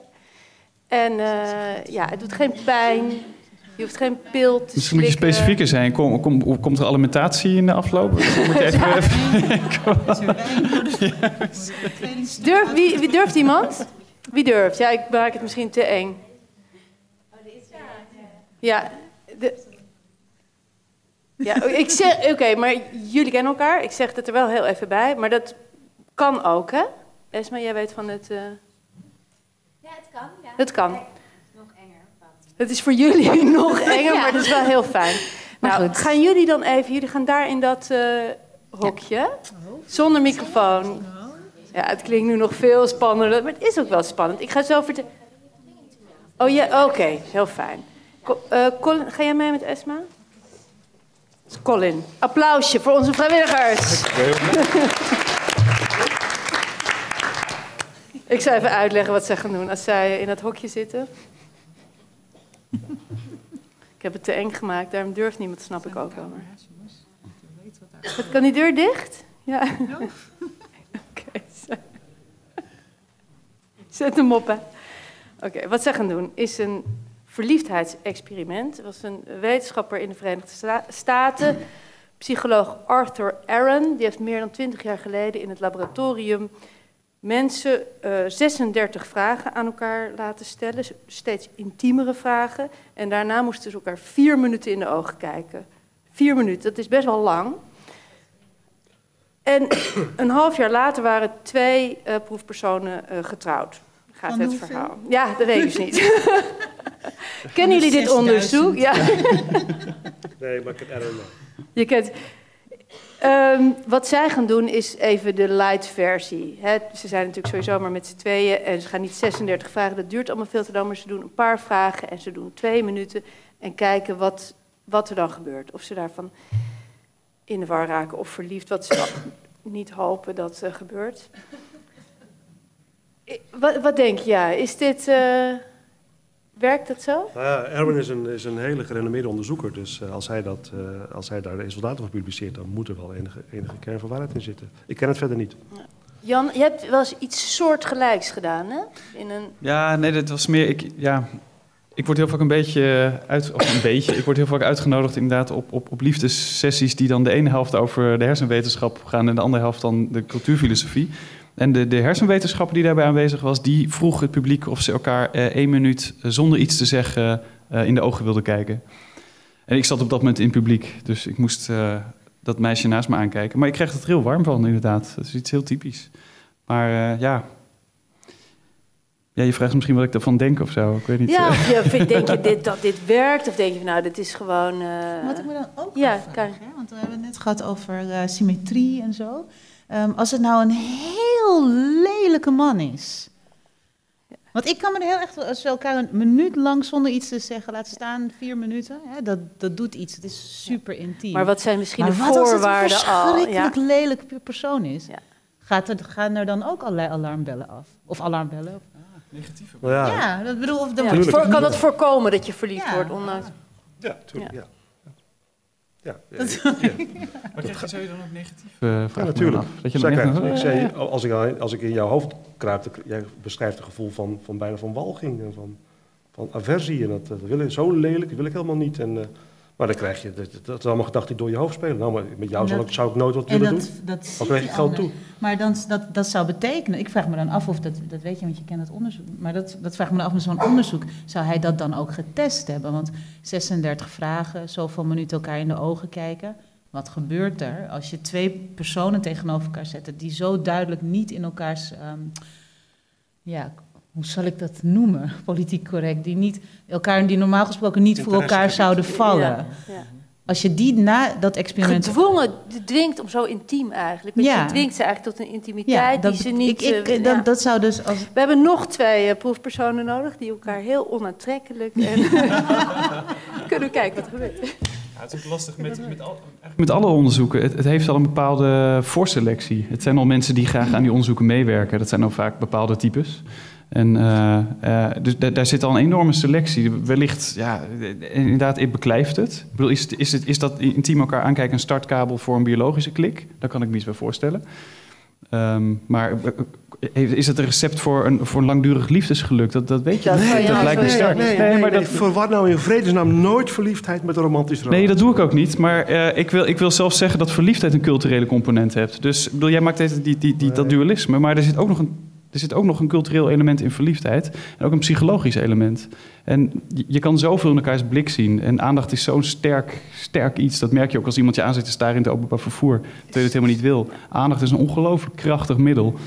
Ehm, en helemaal met zo'n vragenlijst kan ik me voorstellen dat dat een heel mooi begin is voor een relatie. Maar inderdaad, wellicht moet er al enige openheid zijn. Als je daarheen gaat met een hele lieve vrouw en kinderen, en je, dan ga je daar anders heen naar zo'n experiment. Misschien doe je er überhaupt niet aan mee. Dus er zou wel een soort openheid kunnen bestaan. Is verliefdheid sowieso iets waar je voor open moet staan? Mensen zeggen natuurlijk vaak, ik werd er helemaal door overvallen. Ik Weet je, is dat... Uh... Daar zijn mij geen onderzoeken van bekend, maar volgens mij overkomt het je nooit. Je moet je, volgens mij moet je daar toch voor openstellen.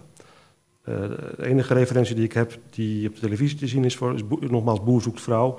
Dan zag je die meiden, die, ik wacht met verliefd worden totdat ik, totdat ik zeker weet dat hij voor mij kiest. En dan zie je dat dan ook gebeuren. Ik, uh... Maar ik vind het zo raar. Ja, mijn man kijkt ernaar. Dus zo zie ik het. dat is een van de dingen waar ik me aan erger. Maar ik zag dus gisteren twee vrouwen en die zijn, lijken ontzettend verliefd. En dacht ik, hoe, toen dacht ik aan, zou je je moeten openstellen om verliefd? Want hoe kun je nou binnen een format precies op tijd? Het is toch heel raar eigenlijk? Ja, nu moet je zeggen, moet het zo meteen in vier minuten verliefd op elkaar. Maar het is toch, dat vind ik echt heel vreemd. Nou, volgens, mij, volgens mij beginnen ze het actief, het verliefdheidsgedrag te uh, spelen, te acteren. En ze hopen dat ze dan uiteindelijk ook echt verliefd worden. Volgens mij is dat wat daar aan de hand is. Ja. Ja, ik, ik, kijk ja, nee, ja, ik kijk het uiteraard beroepsmatig. En, uh, maar ik, ik, ja, als ik een boer was, en, of überhaupt als ik, als ik, als, als ik, als ik echt op zoek zou zijn naar een vrouw, van, hè, zo van, met, met haar wil ik echt een, een, een, nou ja, een, liefde die een leven lang mee kan gaan. Um, ik zou denk ik vooral uh, geïnteresseerd zijn in de vrouwen die mij een brief sturen van... alsjeblieft laat me niet met die afschuwelijke camera's. En kunnen we misschien daar buiten. Ik zou eigenlijk iedereen afwijzen die op tv wil. Daarom. Maar goed, dat is... Uh, ja. dat is de grote nou ja, dan krijg je, ik bedoel, dat heeft ook iets heel gewelddadigs. Je krijgt inderdaad een merkwaardig acteergedrag. Je krijgt ook nog een soort concurrentie. Ik vind het bijna mensonterend hoe vrouwen elkaar soms gewoon echt gewoon bevechten als een soort kippetjes in een hok. Terwijl die haan gewoon met, met volle borst wachten tot ze uitgevochten zijn. Ik vind het echt, bijna, ik vind het echt heel immoreel af en toe hoor. En uh, ik, zou, ik, zou, ik, ik, zou ontroerd kunnen raken door de vrouw die, die het on, onderspit delft. Omdat ze denkt, sorry, maar als dit liefde is, dan doe ik hier niet aan mee. Maar goed, dat, uh, ik ben geen... Uh, ja. Ja. ja.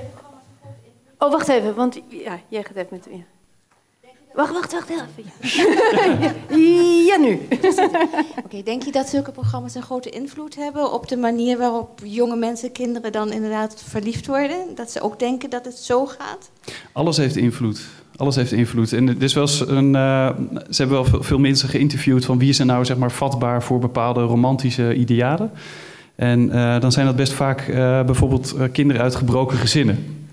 En mensen met uh, jongvolwassenen die een hele stabiele voorbeeldfunctie van hun ouders hebben gehad, die kunnen eerder denken van uh, ja, maar zo werkt het niet, het interesseert me niet zo. Dus als je zoekend bent, en, en, en de, cultuur, eh, de cultuur biedt natuurlijk heel veel, maar als de cultuur overwe overwegende dat soort romantiek of dat soort, ja, dat soort vechtgedrag, dat soort zo'n beetje zo'n vleesmarktachtig gedrag laat zien dat gaat ook, in je, gaat ook in je denkbril zitten. En het zal afhankelijk zijn van wat voor een andere voorbeeld je ook nog hebt.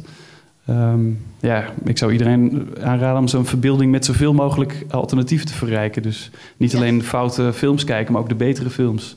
Ga eens naar een filmhuis in plaats van naar een patébioscoop. Uh, lees een goed boek. Lees een goed boek, inderdaad, in plaats van Boer zoekt vrouw. Maar als Boer zoekt vrouw jouw grote inspiratiebron is, ja, dan zal dat... Uh, dan zul je het misschien heel normaal vinden dat je moet vechten om het mannetje of zo, ja geloof ik zeker. Was nog een vraag? Of is dat... Ja. Ja, nee, dan, ik kan begrijpen dat bij Boerzoekvrouw um, stond er van tevoren de foto en de informatie van de boeren die aandeden. En daardoor door de foto verscheen de aantrekkelijkheid voor de vrouwen met de fysieke kenmerken en de informatie in de culturele achtergrond. Daardoor gaat iemand open zich stellen voor de kans om liefde te krijgen. En daarnaast zie ik is dat voor mensen, als de nieuwe schoenen komen, wilden veel mensen die schoenen. Dus de boer die duizend mensen willen hebben, wil ik ook hebben. Want hij is aantrekkelijk voor zoveel vrouwen, dan wil ik het hebben. En als ik win, dan heb je dat gevoel van, ja, ik voor mij. Terwijl de andere duizend vrouwen willen ook. En hij koos voor mij. Anders dan de andere drie. Dus dan voel ik me ook beter, want hij koos voor mij. En dan kan dan het gevoel van, van uh, liefde, dan denk ik, uh, groter worden. Mm -hmm. Misschien klopt het niet, maar het is wel is, is, is, duidelijk het punt. Is dat inderdaad... Uh... Ja, ik vind het een hele, waarde, hele, hele waardevolle bijdrage. Eigenlijk zou je... Boer zoekt vrouw is interessant als je na twee of drie jaar kijkt. Wat is er eigenlijk overgebleven van die relatie? Ja? Ja? Ja, het gaat over liefde, maar ik ben ook benieuwd naar de snelheid waarmee mensen verliefd worden. Of dat misschien ook biologisch bepaald zou kunnen zijn. Ik had vroeger vriendinnen die zeiden elke week wel: Oh, ik ben weer verliefd. Maar voor een ander is er één ware liefde.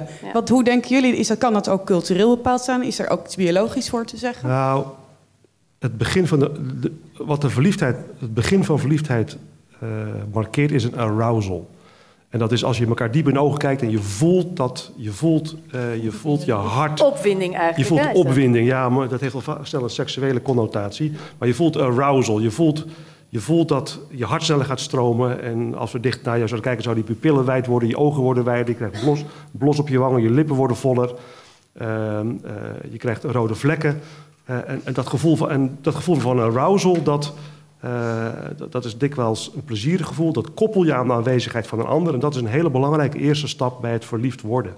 Hoe snel dat gebeurt of waarbij dat gebeurt, uh, volgens mij zit daar variatie in. Zeg je dat koppel je aan de aanwezigheid van een ander? Of dat wordt veroorzaakt Ja, nee, je koppelt dat. Gek genoeg als je een paar glazen... Waardoor dat dan door veroorzaakt? Als je een arousal krijgt door, door een andere oorzaak... Ja, maar wordt het ook wel eens veroorzaakt door de aanwezigheid van een ander? Ja, zeker, natuurlijk. Ja. Nee, oké. Okay. Ja. Je zei, je koppelt het aan de aanwezigheid nee, van een ander. Dan maar, is het zo van, hey, arousal, is het toevallig iemand op die ik Als je een paar glazen drank drinkt, dan krijg je ja, ook een arousal. Ja. En ook dat koppel je aan je Ja, maar ik, ja, ik, ik, vind toch dat de andere steeds erg bekaaid van afkomt, ik, moet ik zeggen hoor. Ja, dat, ik ik, je, ik weet nog wel een voorbeeld, wat misschien een beetje een raar voorbeeld is. Mag je nog een derde voorbeeld geven? Dat is spanning. Een, nee. ik heb vroeger uh, vrij veel uh, parachute gesprongen, wat ik nu helemaal niet meer durf, maar dat deed ik vroeger wel veel. En als ik dat dan twee weken lang deed, werd ik altijd verliefd. En achteraf denk ik, dat was gewoon dat spannende gevoel wat ik in me... Maar het derde voorbeeld is spanning. Nou, kijk eens aan. Had je me goed laten spreken. Spanning. Spanning, zelfs, zelfs eh, de spanning om als gijzelaar bij een gijzelnemer... die idiote verliefdheden dat je op, je, op de dader verliefd wordt... omdat die spanning die, enzovoort... Dus Jan, dan komt inderdaad dat dit object van liefde er bekijkt af. Ja, dan wel. Ja, dan wordt het weer op één hoop gegooid, dat die arousal verliefdheid. Maar het is, je zou eerder kunnen zeggen, als je nee, door nee, parachute nee, springen... Nee, wacht even. Als je snel verliefd wordt door parachute springen of door... Uh, door dan, dan is de kans groter in die omgeving dat je die twee met elkaar gaat verwarren. Laten we, dat is ook een bekende voorbeeld van twee mensen op een wankele brug. Hè? Dat, dat die dan doordat op dat brug en dan elkaar tegenkomen en dan, oh jee, en dan schijnt er dan sneller verliefdheid uit voor te komen. Maar ik denk eerder dat die context, die, die spanningscontext, maakt de kans groter dat je dat, die opwinding gaat verwarren met uh, verliefdheid. Net als dat dronkenschap je ook die verwarring kan je. Je bedoelt, dat is dan geen verliefdheid? Nee. Want, want je, je zegt het is verliefdheid alleen als het om, de, om die ander gaat. Uh, ja, dan zou je het kunnen Ja, ik denk, kijk, eh, eh, datgene wat ik verliefdheid zou willen noemen, uh, is, uh, dat, dat moet ook relationeel van aard zijn, zeg maar. Dat moet ook, kijk, anders heb je namelijk liefde is dan een liefdesrelatie. En verliefdheid is een soort one-man show of een one-woman show, waarin toevallig iemand aanwezig is of waarin ook, waarop ik al mijn idealen en lusten kan projecteren. Maar verliefdheid is ook relationeel van oorsprong. Dat kan best hoor, dat kan wat? best. Herinner je dat niet van toen je, weet ik veel, 14 was of zo? En dan mhm. was dat meisje wat je op de camping voorbij zag lopen wel eens. Je hebt nog nooit een woord met haar gewisseld, maar je bent dol verliefd. Daar heeft zij helemaal niet zoveel mee te maken. Klopt, klopt. En, daarom, en, en, dat is precies het onderscheid wat ik wil maken tussen uh, romantiek en liefde. Dat zou je dus een romantische bevlieging of een romantische verliefdheid kunnen noemen. Dat is inderdaad waarin de ander totaal niet aan de orde komt en je alleen maar aan het projecteren bent en aan het dromen bent. Maar er gebeurt precies hetzelfde in je hersenen daarom kun je ook dat onderscheid daar niet zo goed maken. En daarom is verliefdheid altijd iets anders dan alleen maar hersenactiviteit. En heb je, verliefdheid is ook relationeel. Um, en daarom maak ik dat onderscheid. Ik, ja, ik zou bijna verder willen gaan. romantiek is zelfs de doodsvijand van liefde. Want romantiek gaat alleen maar over mij en mijn fantasie. Uh, en dan kun je inderdaad op afstand op iemand heel erg verliefd zijn die je helemaal niet kent. Uh, maar dat zou ik geen verliefdheid willen noemen. Dat zou maar waar jij het over hebt, is dat dan niet liefde? Of zeg je er is ook verliefdheid met al die spanning en opwinding die wel echt gaat, die relationeel is, zoals je zegt. Die wel echt Verliefdheid is praktisch over- altijd relationeel. Of, of je hebt inderdaad een, een, een bevlieging. Volgens mij vind ik, het, vind ik een prachtig onderscheid in het Nederlands. Je hebt, een, je hebt verliefdheid en een bevlieging. Meestal kunnen we dat onderscheid pas veel later maken. Maar het is niet heel toevallig dat vaak als iemand... Ik weet niet of iemand onlangs nog een bevlieging heeft ten einde zien, heeft zien komen in zichzelf. Of zeg maar geland naar... gewoon even wil- Ja, is er nog iemand geland naar een bev- bevlieging onlangs? De neiging is Maar we degene... hebben het wel eens meegemaakt. Nee, degene die dus zeg maar dan eh, opeens, hè, dan zeg, opeens vallen de schermen van de ogen. En opeens zie ik die ander voor wat hij is. En dan zijn ze heel erg boos en teleurgesteld. Heel, ben een vreed tegenover die ander die zo tegenvalt. En eigenlijk, de bevlieging zou ik een soort, soort, soort gekwetste eigenliefde willen noemen. Dat is gewoon, je, je, je komt er opeens achter dat het alleen maar jou en je fantasie was. Dat je niet eens de kans hebt gegeven aan de ander om zich te laten tonen. En dan ga je dat die ander zitten verwijten. Maar verliefdheid en bevlieging, bij een verliefdheid is er meer inbrengen, meer aanwezigheid van de ander en ook meer openheid voor de ander. Als het goed is. Ja? Oh, je hebt zelf een vraag, dat mag ja, wel hoor. nee, Ja. ik, had, ik had even, want volgens mij noemen jullie eh, soms eh, dezelfde dingen een beetje anders. Ehm, eh, Ja, dat vond ik- vind ik ook een beetje hinderlijk. Nee, ja, romantische liefde is volgens mij ehm, voor jou meer een, een langdurige, eh, bevredigende relatie. Hè, die langer duurt. En bij jou is het eh, de romantische liefde juist dat verwarrende. Of, nou ja, zo had ik het dan begrepen. Romantische liefde is een contradictio in terminis. Nee, kun je niet precies. zeggen. Nee, maar ik denk, eh, en ook over die one-man show. Ik bedoel, er zijn heel veel mensen verliefd op iemand waar ze alleen een plaatje van hebben gezien. Dus helemaal liggen te trippen in hun eentje, Ja, ja. eigenlijk met zichzelf. Mhm. Nou ja, goed. Eh, in ieder geval heel erg verliefd zijn. Eh, met eh, tekstberichtjes, gewoon woorden waar ze heel erg verliefd Dus ik denk dat je, misschien zou je bijna kunnen zeggen dat je een soort intraverliefdheid hebt. En dan, zoals jij hem bedoelt, die rationele verliefdheid. Dat je Nee, relationele. relationele, Ja. Mhm. eh, relationele verliefdheid. Dus dat die beantwoord is en dat je samen verliefd bent. Misschien Ja, is daar een groot verschil tussen. Ja, maar ik maak da- daarom dat onderscheid tussen romantiek en liefde maak ik dan ook inderdaad. Zo, ja, klopt. ja. Romantiek is die, die one-man show die fantasie. Ah, oké. En liefde is dat relationele. Maar verliefdheid kan dus ook, is, is ook relationeel. En anders is het een bevlieging. Ja, bevlieging is precies. bijna altijd romantisch van aard. Omdat die alleen maar over jou en je projectie gaat. Oh, grappig. Ja, dus jij hebt zeg maar verliefdheid zie je al in twee. Hè, Ja. in Ja, tweeën uit precies. één, terwijl jij dat eigenlijk als één. En daarom hebben we veel. Ja, dat eh, komt omdat ik zou verliefdheid niet alleen maar willen reduceren tot biologisch. Zoals jij doet, vind ik zonde. Want ik, volgens mij doet dat geen recht aan de ervaring van verliefd zijn. Je, je bent zo aan het nadenken over wat iemand voor je betekent. En, en, en eh, je persoonlijke geschiedenis speelt zo'n belangrijke rol op wie je aantrekkelijk vindt. En sterker nog, je, je hebt van die momenten dat je realiseert... oké, ik voel inderdaad dat mijn lichaam er nu echt flink bezig is. En ik probeer toch, toch dat enigszins te, te duiden en te kijken of dat, of dat, of dat kan blijven duren. Eh, ja, je, je, bent niet, je bent niet alleen maar biologisch bezig. Kun je daarin mee dat je zo'n Ja, ja. fase hebt van dat je wel echt verliefd bent met al die, hè, vast dat plekje ook nog in de hersenen, maar dat het toch die ander. Nou ja, kijk, eh, dat is, dat is zo, ben ik ook begonnen. Dus ik heb het makkelijkste gedeelte. Want hoe je het ook wilt noemen, eh, verliefdheid of bevlieging, die hebben min of meer dezelfde wetmatigheden en dezelfde symptomen. Maar dat betekent niet dat er een verlies aan zelfcontrole is of zoiets. Daar, daar ben je altijd zelf als mens bij. Daar kun je, heb je je eigen gedachten en elaboraties bij en culturele invloeden. Maar de biologie blijft hetzelfde.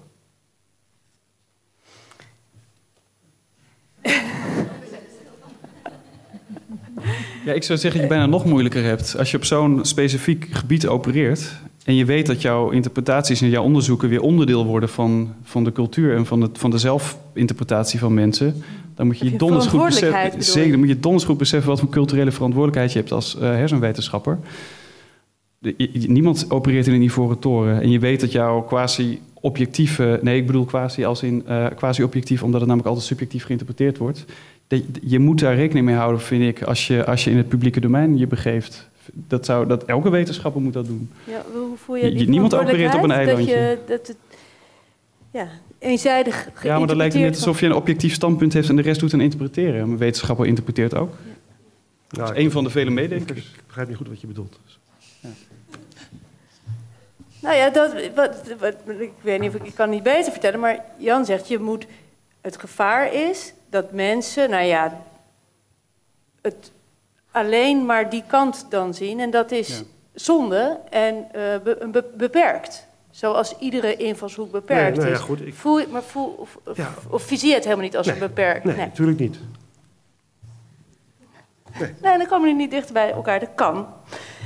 dat deurtje blijft best wel lang uh, dicht, hè? Dat is... Uh, ik denk dat het een ik, nee, ik ga heel even niet naar vragen, want Jan, ik wil jou nog wat vragen.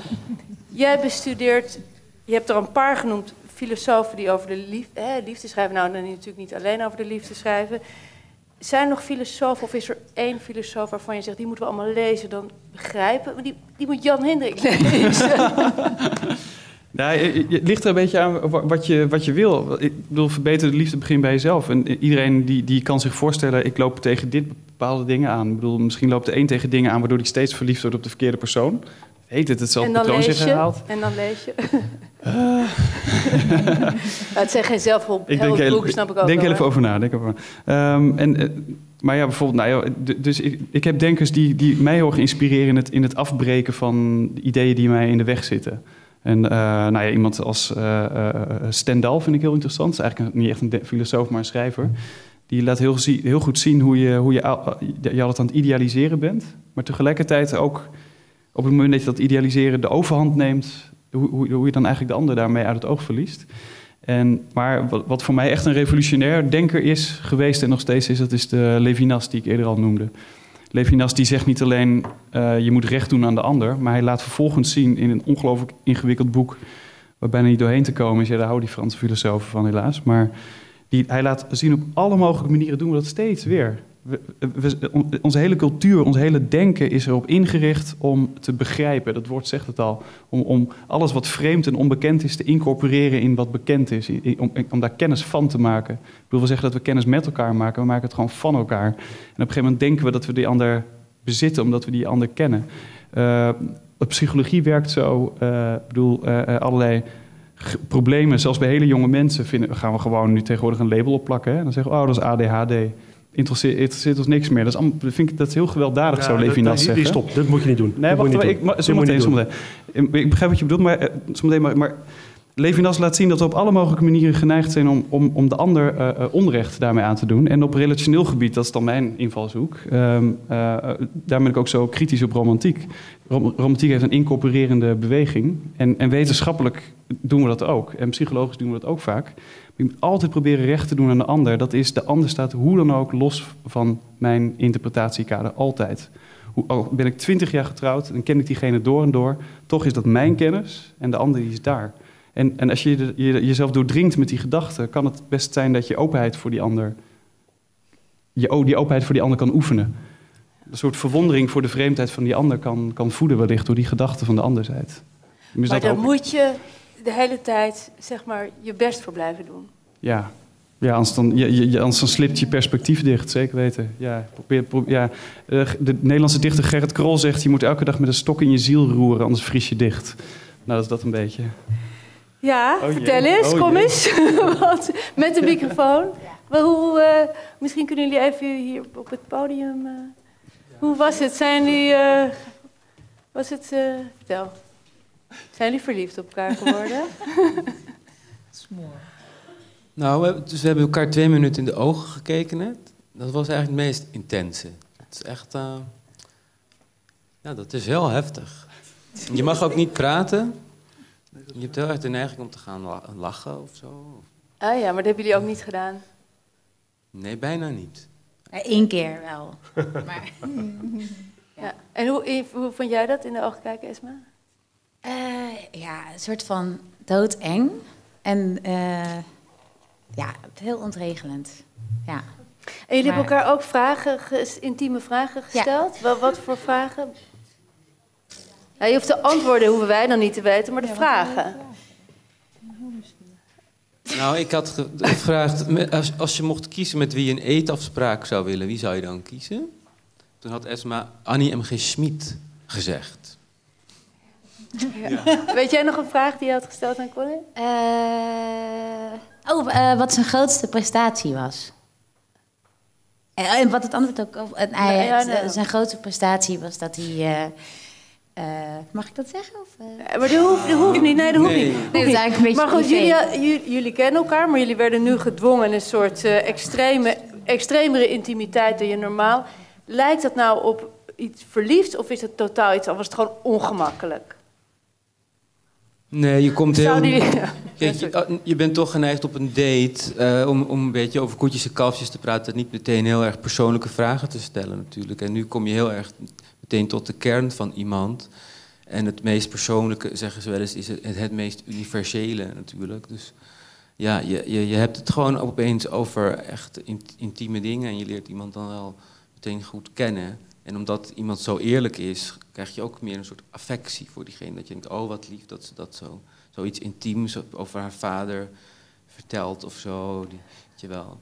En, en dan, ja, nou, het is wel, dus we beschermen ons in het moderne leven natuurlijk ook heel erg als, als individu. En zo. We willen allemaal of je verhaal. sterk zijn en stoer zijn. En dat, die, dat panzer laat je dan uh, los natuurlijk door die vragen. Ja. ja. Esma, ja, wat wil jij nog zeggen?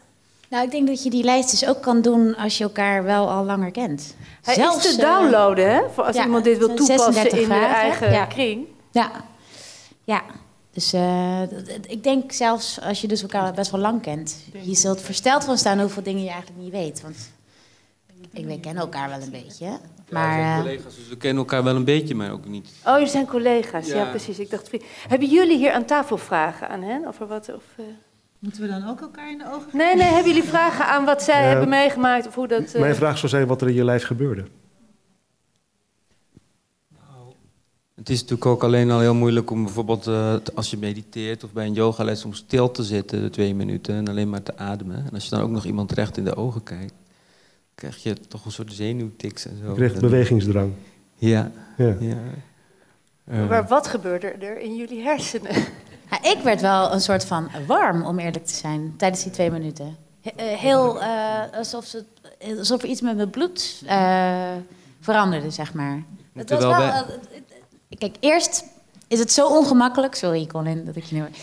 Dat je zit, uh, probeert je impulsen te onderdrukken om te lachen enzovoort. Maar na een tijdje zakte het in. En toen zag ik dat jij een heel uh, mooi uh, linkeroog had. Ja. Nou, voor wie misschien net nog dacht, oh, dit was makkelijk, want ze kennen elkaar een beetje. Het was helemaal niet makkelijk en echt ontzettend leuk dat jullie dit hebben willen doen voor ons. Dank jullie wel.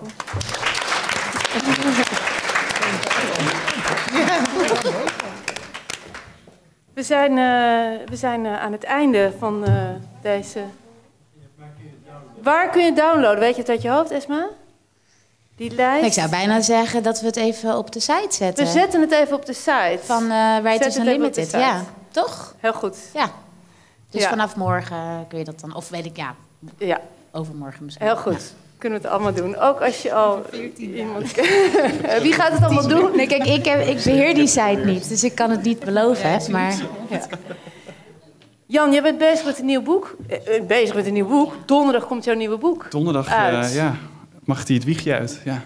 En het heet? Uh, Denken helpt. Ja. Dat, uh, dat is alles. Dat... is, uh, het, gaat over de, het gaat over liefde uiteraard en ook over verdriet, liefdesverdriet. Daar hebben we het helaas niet over gehad vanavond.